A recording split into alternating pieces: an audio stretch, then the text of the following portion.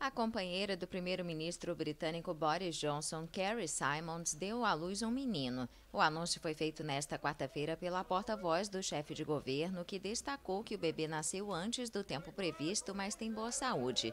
A criança e a mãe passam bem. De acordo com a imprensa britânica, o primeiro-ministro estava presente no parto. Johnson, de 55 anos, foi hospitalizado no início do mês e chegou a ficar três dias na UTI devido ao novo coronavírus. Simons, de 32, também teve a doença nas últimas semanas da gravidez, mas se recuperou em casa.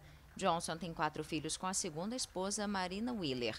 O primeiro-ministro tem outra filha, fruto de um relacionamento extraconjugal, e se nega a responder quando é questionado se tem mais filhos. Ele e Carrie Simons anunciaram em 29 de fevereiro que esperavam o bebê para o início do verão e que se casariam em breve.